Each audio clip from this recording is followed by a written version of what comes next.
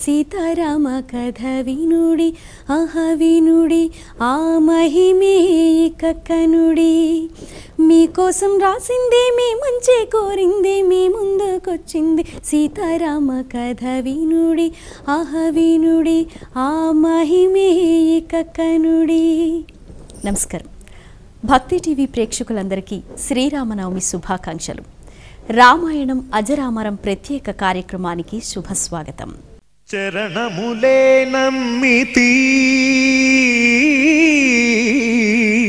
నీ దివ్య చరణములే నమ్మితి చరణములే నమ్మితి నీ దివ్య చరణములే నమ్మితి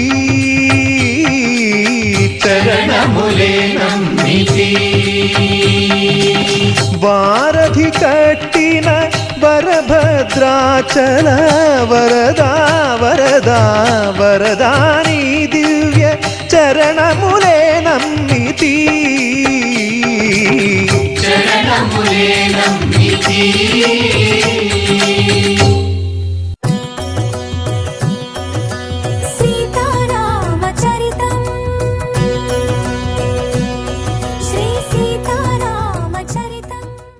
శ్రీరామచరితం రామాయణం సీతమ్మ హృదయం రామాయణం వాడని కుసుమం రామాయణం వీడని అభయం రామాయణం తరగని శుభములు విరివిక నొసగే పావన చరితం రామాయణం.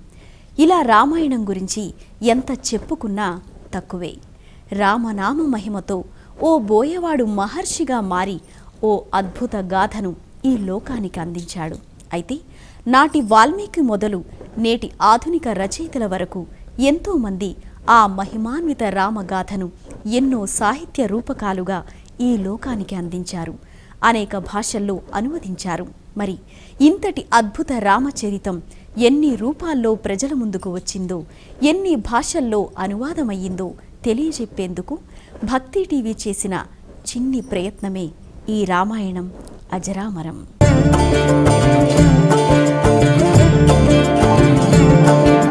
జగదానందకారక జయ జానకి ప్రాణనాయక.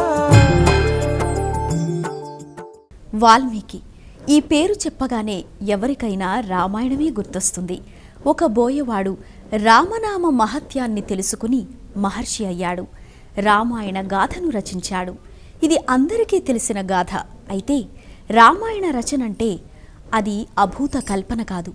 లోక కళ్యాణం కోసం దేవుడే మానవుడే భువికి దిగి వచ్చినప్పుడు జరిగిన సంఘటనల సమాహారం రామాయణం. ఓ మనిషి పరిపూర్ణత్వానికి అక్షర రూపం రామాయణం. అటువంటి అపూర్వ కావ్యాన్ని ఈ లోకానికి తొలిసారి అందించిన దివ్య ఋషి వాల్మీకి మహర్షి. ఆ కావ్యంలో ఏముందో వాటి విశేషాలేమిటో ఇప్పుడు తెలుసుకుందాం. వాల్మీకి మహర్షి ఏ లోక కళ్యాణం కోసమైతే శ్రీరాముడు త్రేతాయుగంలో అవతరించాడో ఆ త్రేతాయుగంలోనే జన్మించిన దివ్యర్షి వాల్మీకి. ఆయన ఆదికవి. ఆయన తొలి గురువు. భగవత్ సంకల్పం కారణంగా వాల్మీకి శ్రీమద్ రామాయణాన్ని రచించగలిగాడు. వాల్మీకి రచించిన శ్రీరామగాథకే సంపూర్ణ రామాయణమని వాల్మీకి రామాయణమని పేరు. ఇందులో ఇరవై నాలుగు వేల శ్లోకాలుంటాయి. ఆ ఇరవై నాలుగు వేల శ్లోకాల్లో శతకోటి అక్షరాలు ఉంటాయని ప్రతీతి. తపస్వాధ్యాయ నిరతం తపస్వి వాగ్విదాం వరం నారదం పరిపప్రచ్ఛ వాల్మీకిర్ మునిపుంగవం అనే శ్లోకంతో ప్రారంభమయ్యే వాల్మీకి రామాయణంలో బాలకాండ అయోధ్యకాండ అరణ్యకాండ కిష్కిండకాండ సుందరాకాండ యుద్ధకాండ పేరిట ఆరు భాగాలుంటాయి. ఒక్కో కాండలో సర్గల పేరిట ఉపభాగాలు ఉంటాయి. అలా బాలకాండలో డెబ్భై ఏడు సర్గలు అయోధ్యకాండలో నూట పంతొమ్మిది సర్గలు అరణ్యకాండలో డెబ్భై ఐదు సర్గలు కిష్కిందకాండలో అరవై ఏడు సర్గలు సుందరాకాండలో అరవై ఎనిమిది సర్గలు యుద్ధకాండలో నూట ముప్పై ఒక్క సర్గలు ఉన్నాయి. శ్రీరామ జననం మొదలు శ్రీరామ పట్టాభిషేకం వరకు ఉన్న సమగ్ర స్వరూపమే వాల్మీకి రామాయణం. హే రామచంద్ర ప్రభు. శ్రీ పరబ్రహ్మ ఆదేశంతో నారద మునీంద్రుల ప్రేరణతో ఈ వాల్మీకి రచయించిన శ్రీమద్ రామాయణ కావ్య రచన నేటితో సకలం సమాప్తమైంది. పరమ పవిత్రము పాపలవిత్రము పుణ్య చరిత్రము అయిన ఈ రామకథాసుతను ఆలకించి ఆస్వాదించి సర్వమానవ జాతి తరించుగాక.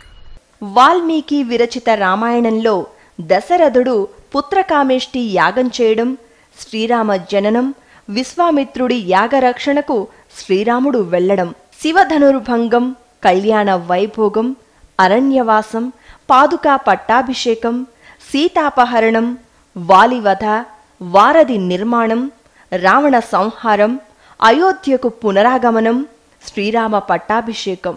ఈ ఆరు కాండాల్లో సంక్షిప్తంగా ఉన్న రామాయణ గాథ ఇది.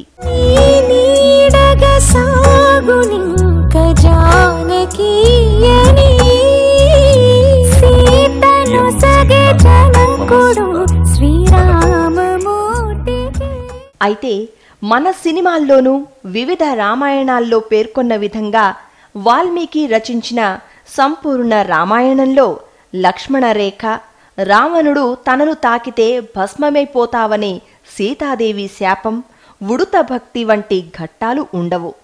మొత్తంగా వాల్మీకి రచించిన సంపూర్ణ రామాయణమే ఆది కావ్యంగా తొలి శ్రీరామ గాథగా వినతికెక్కింది. సంపూర్ణ రామాయణాన్ని రచించిన వాల్మీకి మహర్షి మరో నాలుగు రామాయణాలు రచించాడని మీకు తెలుసా? అవును. వాల్మీకి మహర్షి సంపూర్ణ రామాయణాన్నే కాక మరో నాలుగు రకాల రామాయణాలు కూడా రచించాడు. సంపూర్ణ రామాయణానికి వాటికి ఎంతో వ్యత్యాసం కనిపిస్తుంది. కథల్లోనూ కొంత మార్పు చేర్పులుంటాయి. ఇదే ఒక విశేషమైతే వాల్మీకితో పాటు ఎంతో మంది త్రేతాయుగం నాటి పురాణ పురుషులు సైతం రామాయణాన్ని రచించారు. ఆ వివరాలు విశేషాలు ఇప్పుడు తెలుసుకుందాం.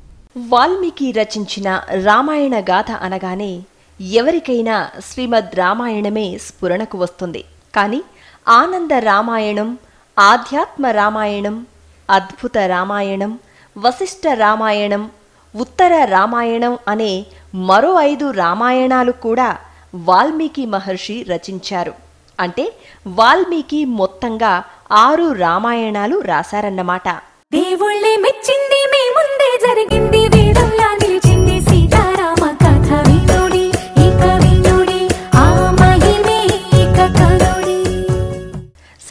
రామాయణం తర్వాత వాల్మీకి మహర్షి చేసిన రచన ఆనంద రామాయణం.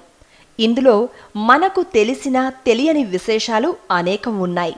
తన మరణానికి కారణం కౌసల్య దశరథులకు జన్మించే బాలుడు అని తెలుసుకున్న రావణుడు కౌసల్యను అపహరించటం దశరథుడు ఆమెను విడిపించటం ఇందులో మనకు కనిపించే కొత్త కోణం. ఆ తర్వాతి కథ మొత్తం యథాతథమే అయినా రావణుడు ఆత్మలింగాన్ని పొందేందుకు జరిగే ఘట్టాలు రామేశ్వర క్షేత్రంలో శ్రీరామచంద్రుడి సైకతలింగ ప్రతిష్ట ఈ ఆనంద రామాయణంలో కనిపిస్తాయి. భీకరారణ్యములలో మనము పడరాని కష్టాలు అనుభవిస్తున్నామని మా తండ్రి గారు మనస్తాపం చెందుతూ ఉంటారు. లక్ష్మణుని సేవలు నీ సాహచర్యము చిత్రకూట పర్వత సౌందర్యము. నాకెంతో తృప్తినిస్తుంది. వాల్మీకి రచించిన మరో రామాయణ గాథ ఆధ్యాత్మ రామాయణం. ఇందులో శ్రీరామచరితాన్ని సాక్షాత్తు శివుడే పార్వతికి వివరిస్తున్నట్టుగా ఉంటుంది. ఇందులో రాముడు క్షత్రియుడిగా కాక బ్రాహ్మణుడిగా కనిపిస్తాడు. రావణుడు సీతను అపహరించే సమయంలో అసలైన జానకి అగ్నిదేవుడి రక్షణలో ఉంటుందని ఆమెకు బదులుగా వేదవతి జానకీదేవిగా లంకేశ్వరుడి చెరలో ఉంటుందనే కథ. ఈ ఆధ్యాత్మ రామాయణంలోనిదే. ఇందులో ప్రధానంగా లక్ష్మణుడికి రాముడు బ్రహ్మజ్ఞానం గురించి ఆధ్యాత్మ బోధ చేస్తాడు. అందుకే దీనికి ఆధ్యాత్మ రామాయణం అనే పేరు. మొదలైంది వారధి. రామాయణానికది అదిగదిగో మొదలైంది వారధి. రామాయణానికది సారథి శ్రీరామనామం పునాదిగా సీతమ్మ కడగళ్ళు రాళ్ళుగా. లోక కళ్యాణమై రూపొందుతున్నట్టి వారధే మన పాలి పెన్నిటి ఇక వాల్మీకి రచించిన మరో రచన అద్భుత రామాయణం. వాల్మీకి భరద్వాజ మహర్షికి జరిగే రామాయణ సంభాషణ ఇది. అయితే ఇందులో శ్రీరామ జననం విశ్వామిత్ర యాగరక్షణ వంటివి ఉండవు. కథ నేరుగా శ్రీరాముడు సీతా సమేతుడై అయోధ్యలో ప్రవేశించడంతో ఆరంభమవుతుంది.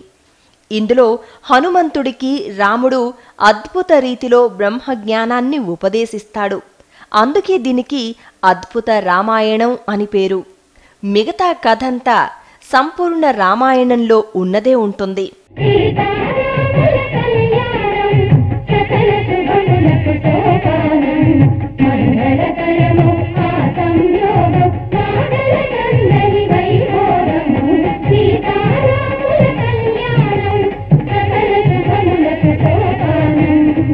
వాల్మీకి రచించిన ఐదో రామాయణం వశిష్ఠ రామాయణం.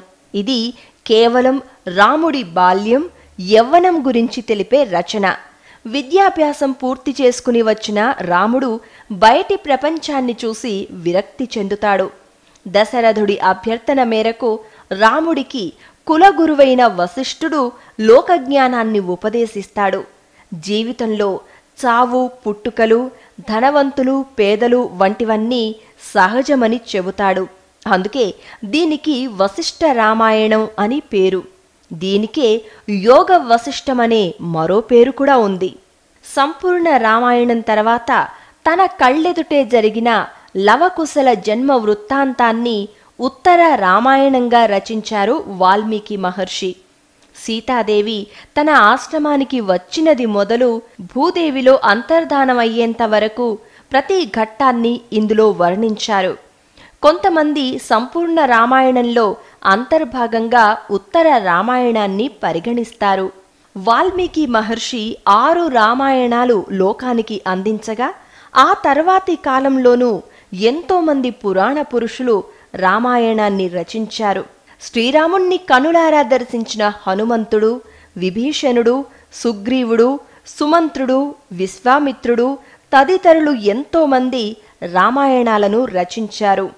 అగ్నివేశ రామాయణం అనర్ఘ రాఘవ రామాయణం అత్రి రామాయణం విభీషణ రామాయణం బ్రహ్మ రామాయణం గరుడ రామాయణం గౌతమ రామాయణం గోవింద రామాయణం జమదగ్ని రామాయణం జైమిని రామాయణం నారదీయ రామాయణం సుగ్రీవ రామాయణం సుమంత్ర రామాయణం విశ్వామిత్ర రామాయణం వంటివి ఎన్నో రామాయణాలు ఉన్నాయని పురాణ పండితులు చెబుతారు. ఇక ఆ తర్వాతి కాలంలో వేదవ్యాస మహర్షి సైతం రామగాథను రచించారు. శ్రీమద్ భాగవతంలోని తొమ్మిదవ స్కంధంలో రామగాథ ఉంది. మహాభారతంలోని రామోఖ్యాన పర్వంలోనూ శ్రీరామచరితం కనిపిస్తుంది. విష్ణు పురాణంలోనూ రామావతార ఘట్టం ఉంది. రామాయణం అజరామరం కార్యక్రమంలో ఇప్పుడొక స్వల్ప విరామం.